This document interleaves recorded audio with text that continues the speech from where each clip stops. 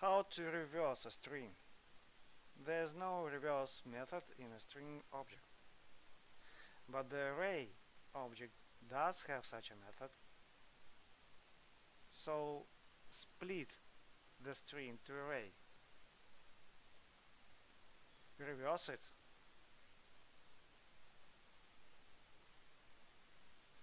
And join again to string.